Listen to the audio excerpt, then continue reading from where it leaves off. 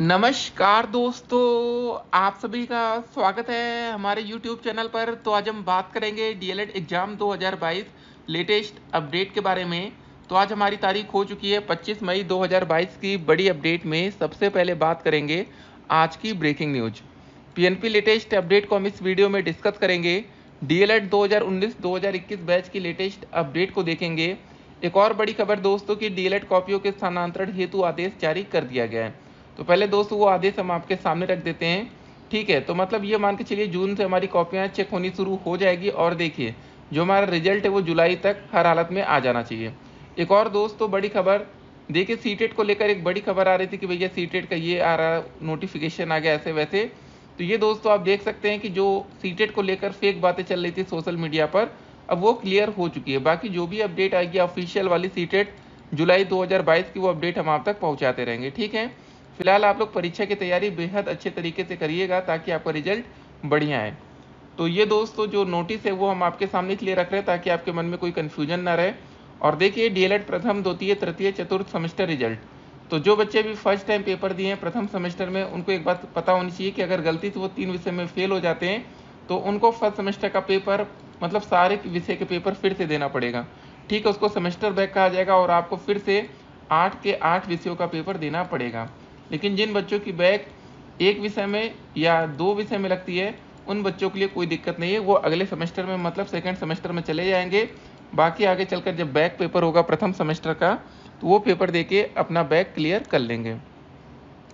तो डीएलएड के छात्र स्कॉलरशिप के इंतज़ार में है। तो स्कॉलरशिप अगर आपने स्टेटस डाउनलोड नहीं किया है तो कमेंट बॉक्स हम लिंक दे देंगे, जहाँ से आप लोग अपने स्कॉलरशिप का स्टेटस सी का नोटिफिकेशन यूपी टेट के दोस्तों कोर्ट अपडेट जी हाँ दोस्तों यूपी टेट की कोर्ट अपडेट देखना है इसलिए ज़रूरी बीटीसी और बीएड का मामला चल रहा है। जी हाँ दोस्तों, अगर आप लोग बीटीसी कर रहे हैं या डीएलएड कर रहे हैं, वर्षे दोस्त हमारा बीएड का मामला चल रहा है। अगर बीएड के छात्रों को प्राथमिक शिक्षक भर्ती से बाहर कर दिया जाता है तो इसका सीधा फ़ायदा आपको मिलेगा और आने वाले नए शिक्षक भर्ती में नौकरी पाना आपके लिए बेहद आसान हो जाएगा। तो यही सोचिए कि अगर बी कल को बाहर हो गया, तब तो आपकी नौकरी बहुत ही ज़्यादा आसान होने वाली है।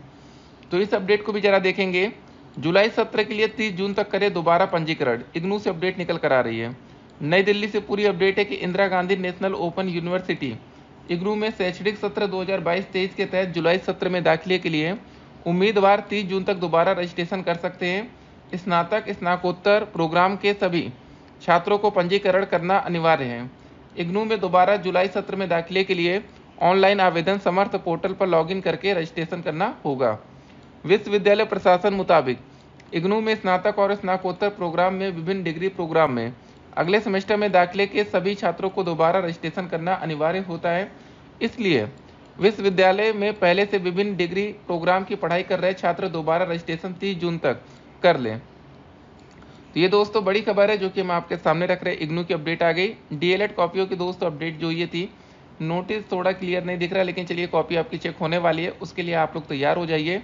हाँ एक बात और आपको बताना चाहेंगे, इस समय आप लोग दलालों से सावधान रहिएगा। देखिए भैया, जैसे कॉपी चेक होती हैं तो दलालों का भी ग्रुप एक्टिव हो जाता है और आपसे अलग अलग पैसों की डिमांड की जा सकती है कि आप दस हज़ार रुपये दीजिए, आप पंद्रह हज़ार रुपये दीजिए, हम आपको पास करा देंगे। ठीक है? तो कुछ लोग अपने ही हिसाब से पास हो जाते मतलब जो पेपर में आप करके आए अधिकांश बच्चे डाउट में सर कह रहे हैं कि हमारा पंद्रह नंबर का सही हुआ क्या बारह नंबर आ जाएगा। हो सकता है दोस्त तो आपका पंद्रह सही हो, पंद्रह के पंद्रह ही नंबर आ जाए, लेकिन अधिकांश बच्चे यहाँ पर देखिए डाउट में रहते हैं। देखिए, पैसे वाला जो मामला होता है, पैसे उनको देना चाहिए जिनको लगता है, भैया, हमारा एक ही नंबर का सही हो क्या आ रहा है, पाँच नंबर का सही हो क्या आ रहा है, या ग्यारह नंबर तक का सही है, बारह नहीं बन सकता। तो वो बच्चे रिस्क लेते हैं तो ज़्यादा बेहतर होता है कि चलो ठीक है, हमें तो पहले से पता था ग्यारह से बारह हो ही नहीं सकता। उसके बाद कोई हमारा नंबर बढ़वा दिया, हम निकल गए। तो ऐसी भी दोस्तों बातें देखने को सामने आती है। बाकी आप लोग अपने हिसाब से देखिएगा, क्योंकि आपके पैसे हैं। डूब जाएँगे, फिर बाद में परेशान होंगे, एक तरफ़ उधर बैक लगेगी, उसके बाद क्या होगा कि पैसे भी चले गए। ना घर के, ना घाट के, वही बात होती है ना।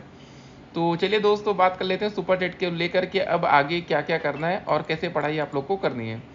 तो गाइज़ फ़र्स्ट सेमेस्टर का हमारा पेपर कंप्लीट हो गया और थर्ड सेमेस्टर का। जी हाँ दोस्तों, ज़्यादा बच्चे इसी सेमेस्टर में थे सेकेंड सेमेस्टर में सिर्फ़ बैक पेपर बच्चे थे फोर्थ सेमेस्टर में भी कुछ बच्चों की बैक थी, वो बच्चे अपना पेपर दिए। अब देखिए, जिन बच्चों का डी एल कंप्लीट उन्हीं बच्चों का माना जाता है जिनके चारों सेमेस्टर में कोई बैक ना हो। मतलब चारों सेमेस्टर पहला सेमेस्टर, दूसरा सेमेस्टर, तीसरा और चौथा सेमेस्टर। क्लियर हो जाए और कोई बैक ना बची हो, तब मान लिया जाएगा कि आपका डी कंप्लीट है। उसके बाद देखिए सुपर टेट में अगर आप चाहते हैं आवेदन का मौका मिले तो उससे पहले आपका टी क्लियर होना ज़रूरी है। टेट का मतलब यूपी टेट हो या सी टेट, इन दोनों में से कोई एक टेट का पेपर अगर आपने क्लियर कर लिया तब आप सुपर टेट के लिए एलिजिबल हो जाते हैं। मतलब आपको फिर सुपर टेट में मौका मिलेगा। तो ये बात भी दोस्तों आपको थोड़ा यहाँ पर ध्यान में रखनी पड़ेगी। बाकी जो भी अपडेट निकल कर आएगी अपडेट हम आप तक लगातार पहुँचाते रहेंगे। ठीक है? तो तैयारी आपकी बेहतर होनी चाहिए ताकि आपका रिज़ल्ट भी बढ़िया वाला आए। टेट सुपर टेट आपने देख लिया। अब देखिए दोस्तों, बात होगी सी टेट को लेकर कि सी टेट जुलाई का पेपर ऑनलाइन माध्यम से होगा या ऑफलाइन माध्यम से होगा? ठीक है, एक बात और आपको बता दें, अगर आपको नोट्स चाहिए हो या कुछ जानकारी चाहिए हो डी के बारे में, अगर 2022 में आप एडमिशन लेना चाहते हैं डी में, ठीक है तो देखिए इस बार एक बेहतर विकल्प हो सकता है। देखिए, अगर एक बात आपको बताते सिंपल सी बात है। अगर कल बीएड बाहर हो जाता, जैसा मामला कोर्ट में चल रहा है, अगर बीएड को प्राथमिक शिक्षक भर्ती से बाहर कर दिया गया तो फिर डीएलएड के अच्छे दिन आ जाएँगे। जी हाँ दोस्तों डीएलएड में मतलब फिर से एक बार एडमिशन की कतार लग जाएगी लाइन लग जाएगी, क्योंकि देखिए, जो बड़ी वैकेंसी निकल कर आती है, वो पीआरटी में आती है, प्राथमिक शिक्षक भर्ती में आती है। मतलब क्या है कि उनहत्तर हज़ार शिक्षक भर्ती रही हो, चाहे अड़सठ हज़ार पाँच सौ शिक्षक भर्ती रही हो, ये सब दोस्तों प्राथमिक शिक्षक भर्ती की बड़ी बड़ी वैकेंसी हम आपके सामने रख रहे हैं। अभी कुछ दिन पहले जूनियर में वैकेंसी आई थी, आपने देखा होगा जूनियर में। कितने पदों पर थी टोटल? अट्ठारह पद थे, जिनमें से 1504 सहायक अध्यापक के पद थे। मतलब जो बच्चे जूनियर, जैसे अगर आप टेट का पेपर देते तो टेट में क्या होता? है पेपर वन, पेपर टू होता है ना? तो जिन बच्चों ने पेपर टू अपना क्लियर किया था, उन बच्चों को मौका मिला था 1504 शिक्षक भर्ती में। मतलब यहाँ पर डीएलएड और बीएड दोनों बच्चों को मौका मिला था। ये मत सोचिएगा कि डीएलएड के बच्चों को मौका नहीं मिला। डीएलएड को भी मिला, बीएड को। लेकिन वैकेंसी कितनी थी आप ये समझिए जा रहा सिर्फ़ पंद्रह सौ चार पदों पर वैकेंसी थी। सोचिए, अब पंद्रह सौ चार पदों पर लाखों बच्चों ने आवेदन कर दिया तो नौकरी पाना आसानी की मुश्किल। ये बात अब आप अच्छे से समझ रहे होंगे। ठीक है?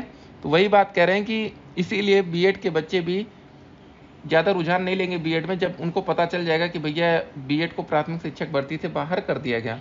और बीएड में ताबड़तोड़ एडमिशन भी इसीलिए हो रहे थे क्योंकि देखिए, प्राथमिक शिक्षक भर्ती के साथ साथ उन बच्चों को मौका मिल रहा था टीजीटी में एलटी में। तो ये वैकेंसी डीएलएड के छात्रों के हाथ से निकल जाती, लेकिन आपको बता दें टीजीटी में अगर आप वैकेंसी निकालेंगे सब्जेक्ट वाइज वैकेंसी रहती है और ज़्यादा पदों पर वैकेंसी नहीं आती तो बच्चे कन्फ्यूज़न में रहते हैं। तो ये सब मामले हैं, इन सबको ज़रा ध्यान रखिए और जो भी अपडेट 2022 की आएगी, वो अपडेट हम आप तक पहुँचाएँगे। जुलाई में एडमिशन के पूरे आसार हैं डी एल के लिए, ठीक है। बाकी जो भी अलग से अपडेट आएगी, वो पीएनपी तो अपडेट आप तक पहुँचाती रहती है। तो ठीक है और नई शिक्षक भर्ती अभी थोड़ा लेट से आएगी तो बेहतर होगा कि जिन बच्चों की बैक है डी में, जब तक आपका रिज़ल्ट नहीं आ जाता, तब तक आप नई शिक्षक भर्ती के लिए एलिजिबल नहीं है। तो रिज़ल्ट आना आपका ज़रूरी है। बाकी परीक्षा की तैयारी अच्छे से करिए, ठीक है? तो 25 मई आज हमारी तारीख है। बाकी अगर कोई जानकारी चाहिए हो डी एडमिशन 2022 के बारे में तो अपडेट हम आप तक पहुंचाते रहेंगे। ठीक है, तैयारी अच्छे रखिएगा। और बाकी दलालों से फ्रॉड लोगों से सावधान रहिएगा, नहीं तो फिर आपके पैसे डूब सकते हैं। बाद में कहेंगे, सर, हमारा पैसा चला गया, हम पास नहीं हुए, हम फेल हो गए तो ये सब बातें रहती हैं। ठीक है, बाकी जो भी देखिए, अलग से अपडेट आएगी, अपडेट हम आप तक पहुँचाएँगे। व्हाट्सएप नंबर हमारा आपके पास होगा, कोई जानकारी चाहिए तो व्हाट्सएप करिएगा। मिलते हैं एक और वीडियो में, तब तक के लिए stay connected have a nice day और चलिए, एक बार व्हाट्सएप नंबर फिर से आपको दे देते हैं। Eight seven three eight zero seven nine two one six, सत्तासी अड़तीस ज़ीरो सात बानवे सोलह। ठीक है, आप इस पर व्हाट्सएप करिएगा कॉल मत करिएगा कॉल लगेगी भी नहीं। तो ठीक है व्हाट्सएप पर मैसेज करिएगा, चलिए मिलते हैं एक और वीडियो में। तब तक के लिए stay connected have a nice day